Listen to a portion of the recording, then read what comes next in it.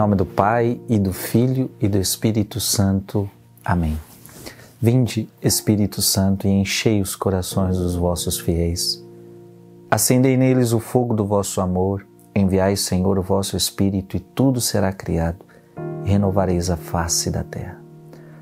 Oremos, ó Deus, que instruíste os corações dos vossos fiéis com a luz do Espírito Santo.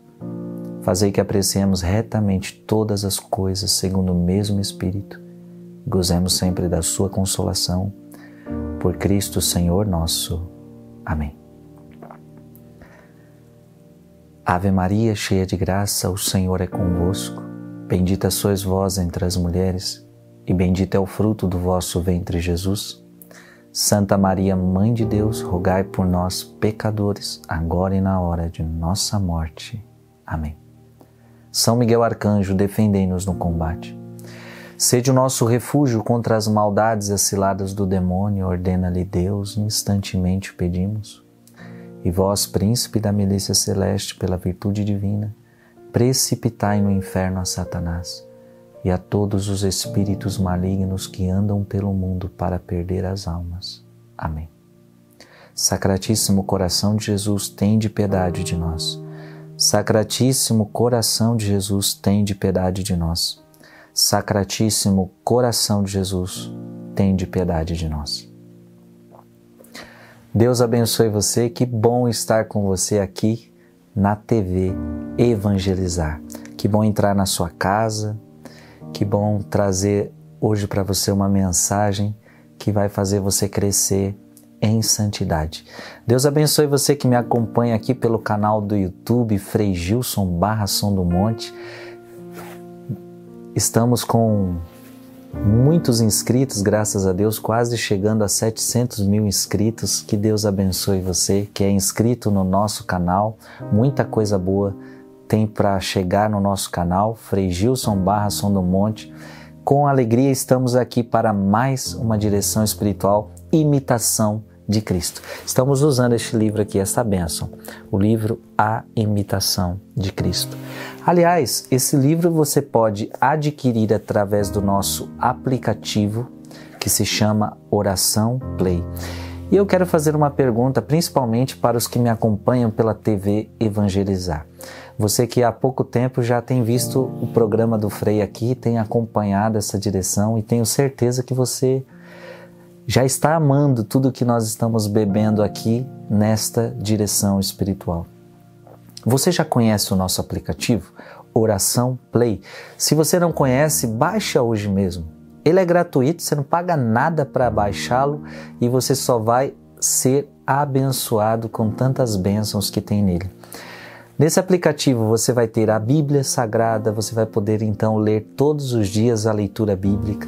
Nesse aplicativo, gente, tem muitas orações, novenas. E olha que legal, quando você escolhe uma novena para fazer, você fala qual novena você quer.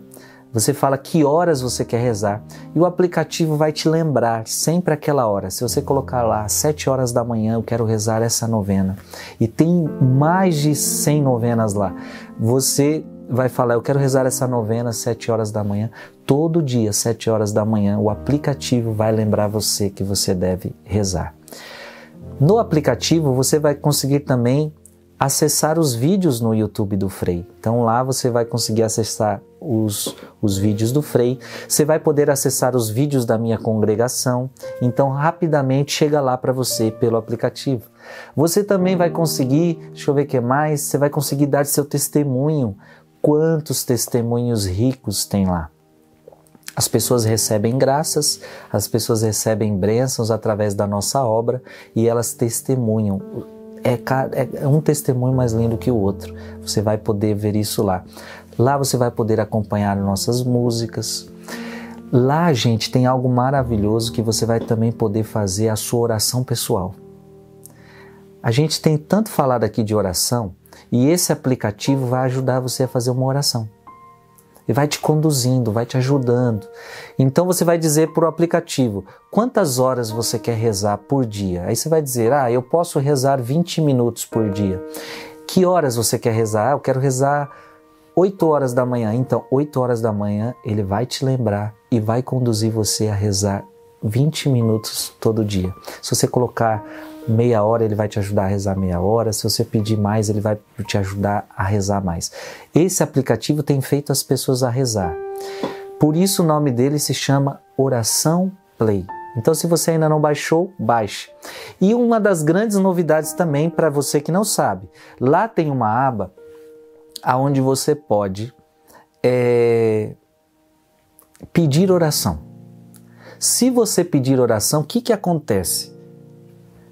Primeiro você vai escolher um padrinho de oração, ou seja, você vai escolher um frei para você apadrinhar. Nós temos um, acho que uns 50 freis. Então você vai escolher um que você quer rezar por ele e que ele reza por você. Olha que interessante. Então, quando você escolhe o frei, vamos dizer que você me escolha. Quando você me escolher para eu rezar por você, eu vou também ter o compromisso de rezar por você. A partir do momento que você faz um pedido de oração, automaticamente aquele pedido de oração chega no meu celular. E eu recebo lá que alguém está pedindo oração por mim. E qual é a minha missão a partir deste momento? É pegar todos os pedidos do Brasil e do mundo que estão chegando através do aplicativo e na minha próxima missa eu vou colocar você na minha missa.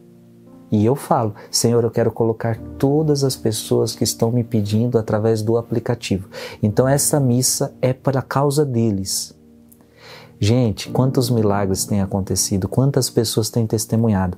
Então eu quero dizer que quando você pede a oração pelo aplicativo, o freis e os freis sacerdotes da comunidade estão rezando missa por você. Então isso é muito importante.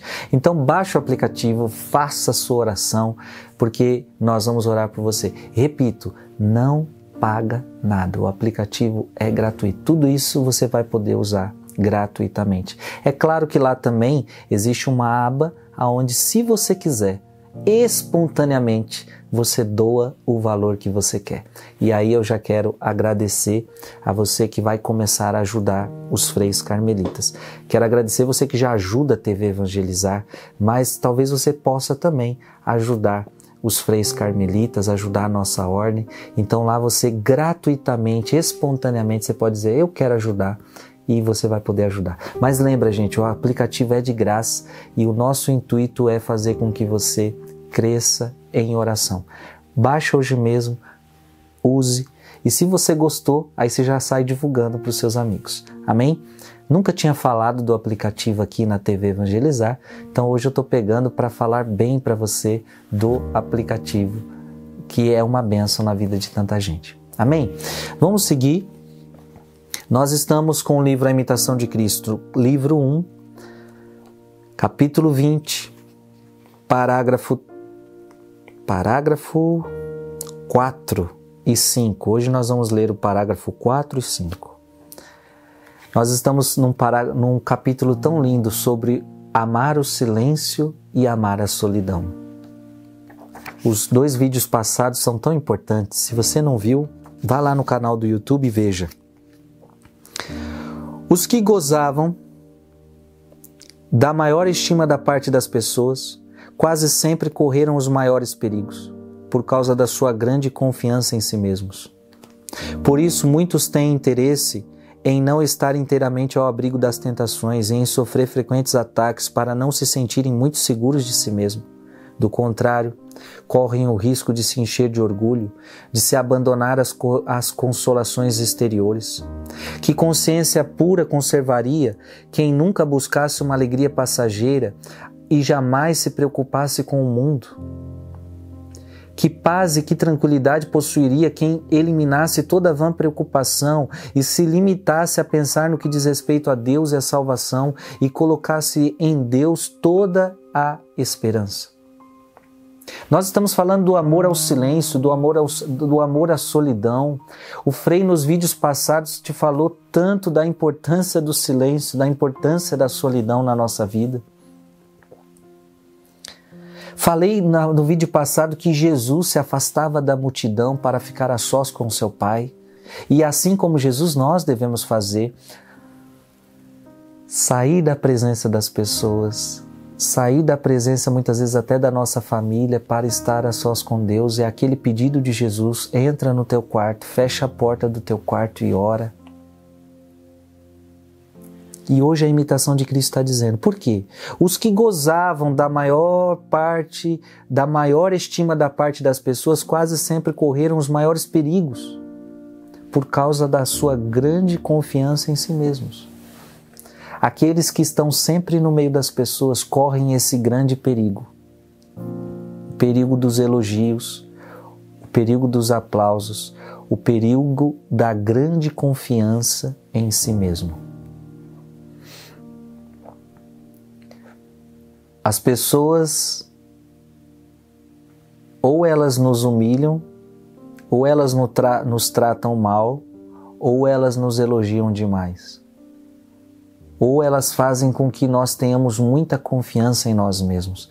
Por isso que estar na solidão, estar no silêncio vai ajudar você a nunca esquecer quem você é. Você não é o que as pessoas dizem de você. O que as pessoas veem de você não é o que realmente você é. E muitas vezes as pessoas nos enganam. Você não é o que aparenta ser. Eu diria para você algo assim: se as pessoas descobrissem quem de fato você é, elas cairiam para trás, elas ficariam assustadas porque, gente, nós, nós, na verdade, na nossa verdade mais íntima, nós somos pecadores, nós somos maus. Jesus mesmo disse: Vós que sois maus, sabeis dar coisas boas aos vossos filhos, quanto mais o vosso Pai do céu dará o Espírito Santo àqueles que o pedirem. Mas nunca se esqueça, nós somos maus. E o maior risco da vida religiosa, um dos maiores riscos da vida espiritual, é você confiar em si mesmo. João da Cruz diz que aquele que confia em si mesmo é pior que o demônio. Aquele que confia em si mesmo é pior do que o demônio. Faz muito bem para a vida espiritual você não confiar em si mesmo, não confiar nas suas forças. E muitas vezes estar com as pessoas, não, não estar o tempo todo com as pessoas é se iludir, porque as pessoas vão te bajular. As pessoas, as pessoas nos bajulam. E faz com que muitas vezes nós tenhamos uma percepção errada de nós mesmos. Não se deixe enganar. Não se deixe enganar. Então, por isso, muitos têm interesse em não estar inteiramente ao abrigo das tentações, em sofrer frequentes ataques, para não se sentirem muito seguros de si mesmo. Então, a solidão, não estar o tempo todo com as pessoas, ajuda a você não estar nessa tentação constante, seguro de si mesmo. Do contrário, correm o risco de se encher de orgulho e de se abandonar às consolações exteriores. Então, se uma pessoa ela só vive no meio das pessoas, ela corre o risco de viver de orgulho. É por isso que nós temos que tomar até cuidado de como a gente usa as redes sociais. Para muita gente, a rede social virou um, uma, uma fonte de orgulho, uma fonte de vaidade. Então eu quero sempre mostrar a melhor foto para que eu receba os elogios, porque às vezes eu não estou recebendo elogio dentro de casa, então eu posto uma foto e eu fico todo feliz ou toda feliz quando eu recebo os comentários das pessoas me elogiando, dizendo que eu sou uma pessoa maravilhosa e dizendo que eu sou uma pessoa bonita, sendo que às vezes dentro de casa você não tem sido essa pessoa maravilhosa. Talvez a sua verdade é que você não tem sido tão maravilhosa, mas para o teu ego, para o teu orgulho, faz bem você escutar que você tem sido uma pessoa maravilhosa. Cuidado. Que paz, que consciência pura conservaria quem buscasse, quem nunca buscasse uma alegria passageira e jamais se preocupasse com o mundo. Não podemos querer buscar alegrias passageiras, aplausos passageiros, elogios passageiros. Que paz e que tranquilidade possuiria quem eliminasse toda vã preocupação e se limitasse a pensar no que diz respeito a Deus e a salvação e colocasse em Deus toda a sua esperança. Então, no fundo, você, quando busca o silêncio, quando busca a solidão, você já não está mais preocupado com o que as pessoas acham de você, o que, que elas pensam de você. Você não começa. Quando você vive em silêncio, quando você vive em solidão, você se afasta do mundo. Você não está mais preocupado em fazer parte das coisas deste mundo. E você pode ver, às vezes acontece umas besteiras, todo mundo começou a postar não sei o que no Facebook. E agora eu também tenho que postar, porque todo mundo está postando. Eu tenho que, parece que eu tenho a necessidade de fazer parte disso. Se todo mundo está fazendo, eu tenho que fazer. Então, de quando em quando aparecem as modinhas, né? Teve uma que era você botava a sua foto, você era novinho, aí ficava com a cara de velho. Aí todo mundo fez a cara de velho. Aí depois surgiu outra moda e todo mundo faz. Por quê? É uma pessoa que precisa estar com o mundo, precisa estar para não se sentir isolado, solitário, para receber os aplausos, para receber tudo aquilo que o mundo quer te dar. Só que uma pessoa dessa, ela, ela sempre está preocupada, ela sempre está é, questionando o que, que as pessoas estão dizendo, o que, que as pessoas estão falando. Meu Deus, uma pessoa que vive assim, ela não tem paz. O que, que as pessoas estão dizendo de mim? O que, que as pessoas estão falando de mim? O que, que as pessoas estão pensando de mim? O que, que, o que, que acharam? O que, que as pessoas acharam da minha foto? Amado irmão e amada irmã, cuidado, cuidado.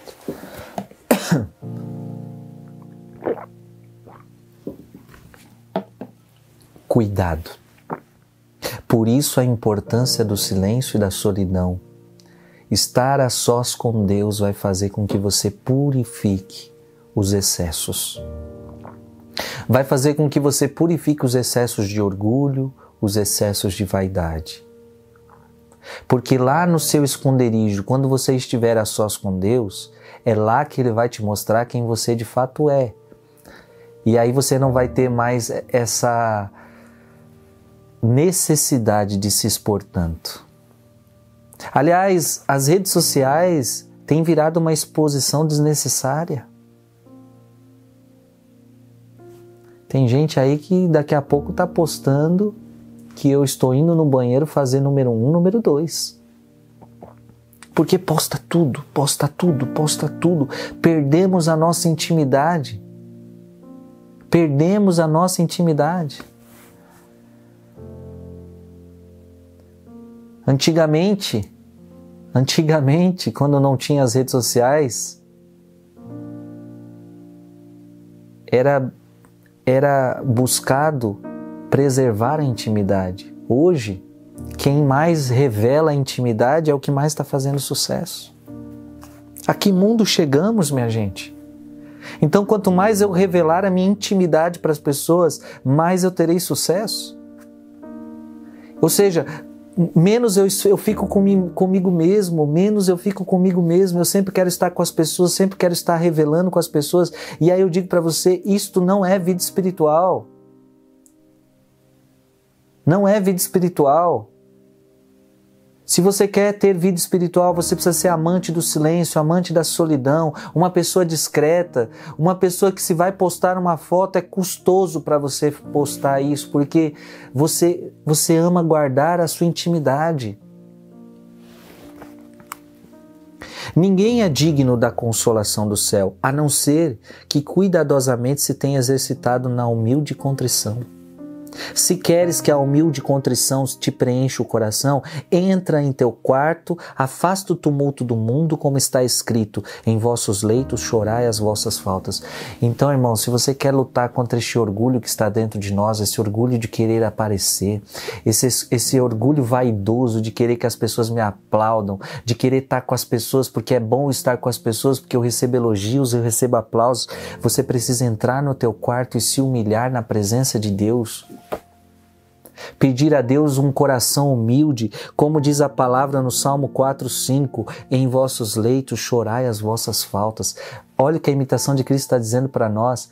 Entra no teu quarto e chora os teus pecados. Lembra que você é pecador. Para quando você estiver na companhia dos outros e as pessoas elogiarem você, você lembre de quem você é.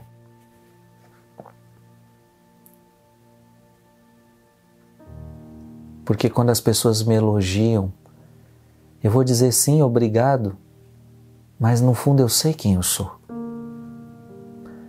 Eu sei quem eu sou. Eu sei quem eu sou.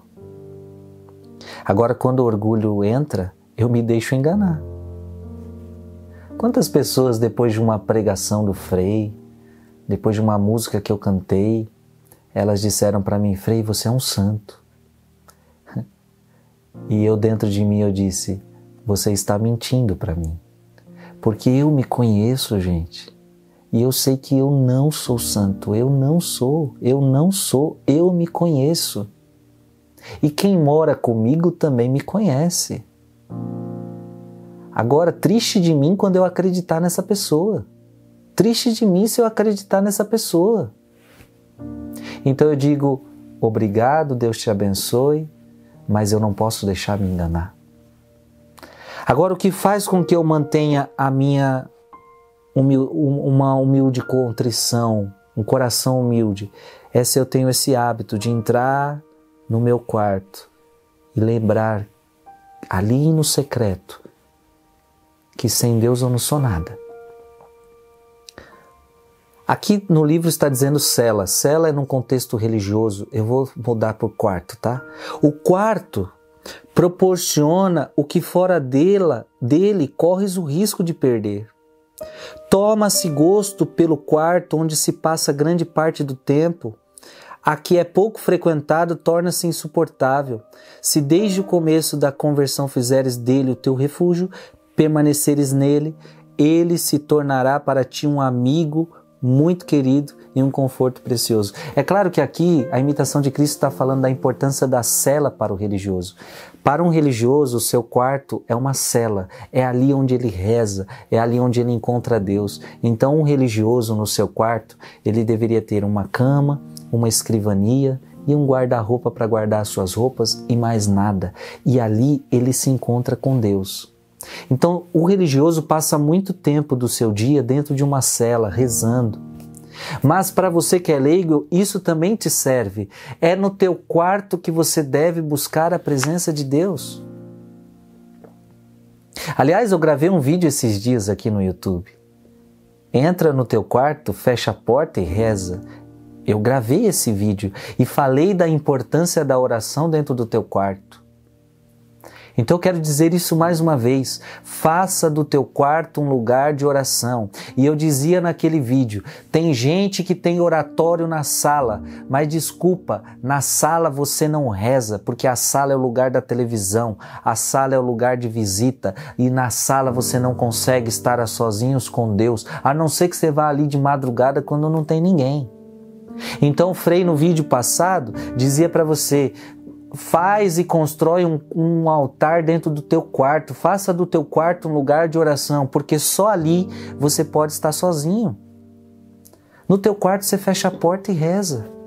Na sala você não tem como expulsar todo mundo e rezar. É no teu quarto que você vai buscar intimidade com Deus e o Frei está convidando você a fazer, a fazer do teu quarto um lugar de oração. Construa um altar dentro do teu quarto. Se você puder, vai, você que não viu esse vídeo que o Frei está falando, vai lá buscar esse vídeo no canal do YouTube Frei Gilson Barra Som do Monte, e aí você vai buscar esse vídeo, entra no teu quarto e fecha a porta e reza, você vai ver, junta esse vídeo com esse, você vai entender o que o Frei está te dizendo. E é no teu quarto, na intimidade com Deus, que você vai, Deus vai te falar ao coração e Deus vai te dar a humildade. E aí você vai entender que vale a pena mais estar com Deus do que com as pessoas.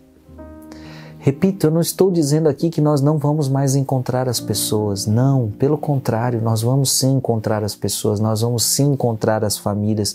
Mas, aliás, isso nós já fazemos demais. O que o Frei agora está pregando é a importância de nós nos afastarmos das pessoas para estarmos a sós com Deus no nosso quarto, no nosso cantinho de oração e ali buscarmos a intimidade com Deus e ali buscarmos a humildade de coração. Ali buscarmos a sabedoria então está faltando para os cristãos mais intimidade com Deus na solidão do seu quarto.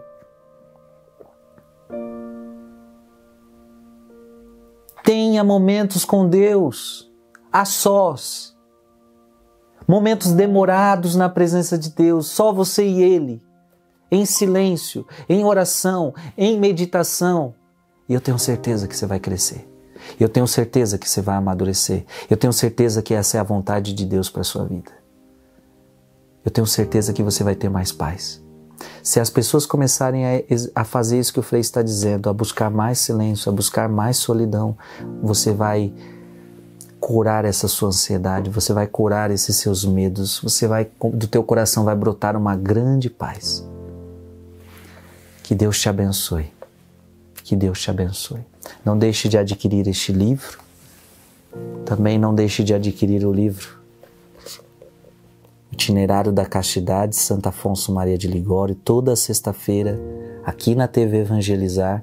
Estamos falando desse livro, estamos fazendo a direção com ele, também no nosso canal do YouTube.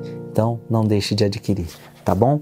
Que Deus abençoe você e até a próxima, se Deus quiser. Que Deus abençoe, em nome do Pai do Filho e do Espírito Santo. Amém.